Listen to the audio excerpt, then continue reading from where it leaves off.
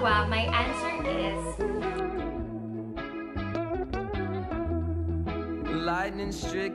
Hey guys, it's me, Anne Christine, and welcome or welcome back to my channel.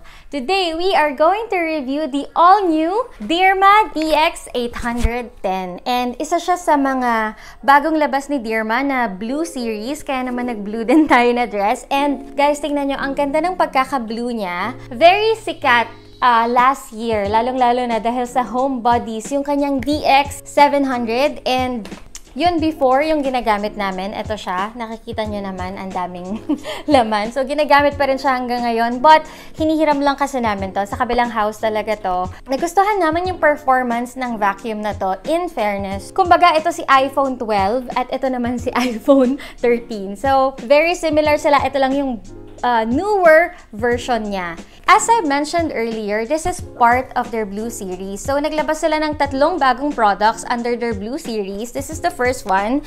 The X810 is a wired vacuum. The second one naman is yung cordless version nito. And the third one naman is yung something na pinag-iipunan ko pa din, the Dust Mite Cleaner. So, yun, panglinis talaga siya ng mga couch, unan, beds, and meron pa siyang UV light, I think, na nagpapatay talaga ng mga germs, ganon. Today, we are going to focus on DX 810. And ito guys, nagamit ko na siya ng ilang araw. So yan, marumi na rin yung dust packs niya. Kasi uh, if you're not new to this channel, alam niyo na guys, na hindi ako nagre-review ng something na hindi ko nagamit several times.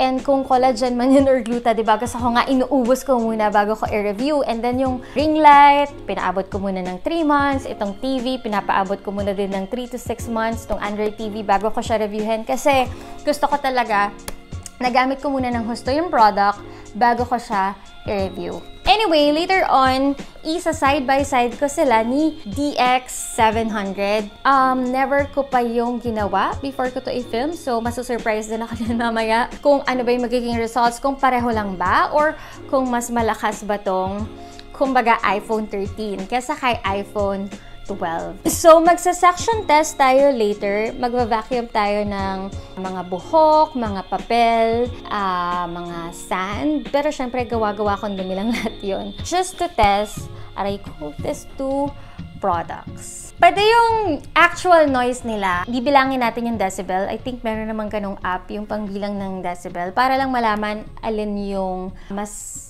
quiet sa kanila. Of course, the quieter, the better. So yan, if you're interested, please stick around.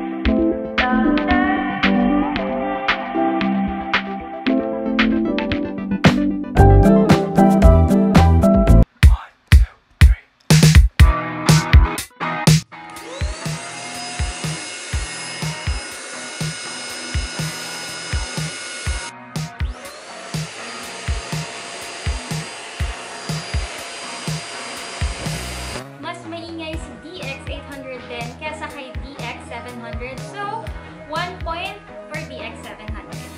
Ngayon, ito na yung pinakaabangan nating lahat. We are going to do the suction test. So, i-check natin kung sino ba talaga sa kanila yung mas magaling na vacuum. Kasi ang pinaka-essence naman ng vacuum is yung pag-suction, paglilinis, diba?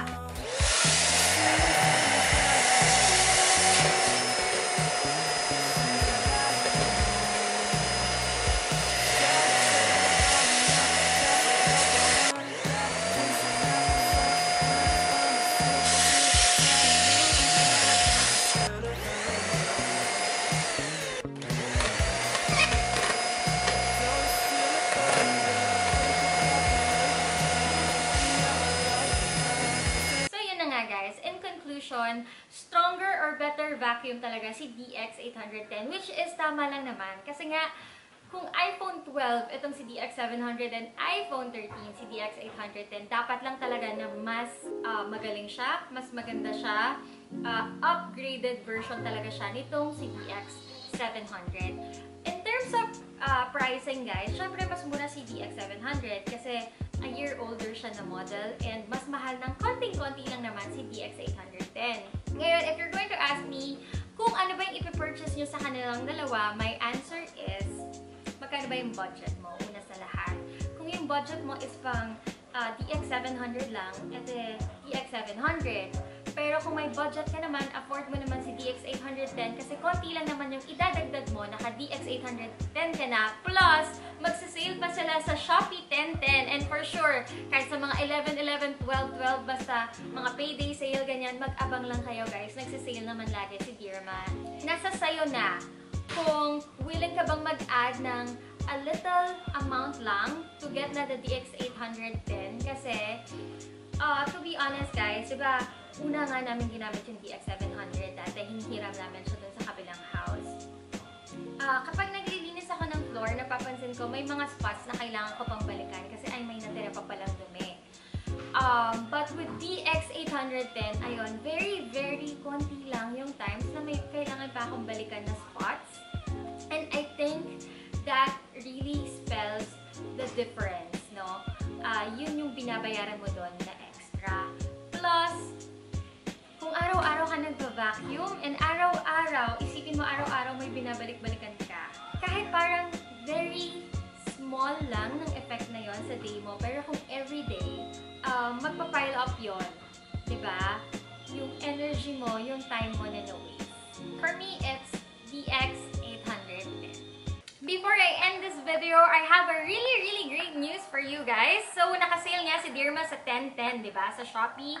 And may specific time na naka-flash sale si Dirma DX810. Sa October 10, from 12 midnight to 8.59 a.m., Dirma DX810 will only be 1,945 pesos. So, grabe. I-grab opportunity na yun. Mark your calendars, mag-reminders kayo, i-check out nyo na siya kasi baka ma-sold out. Sobrang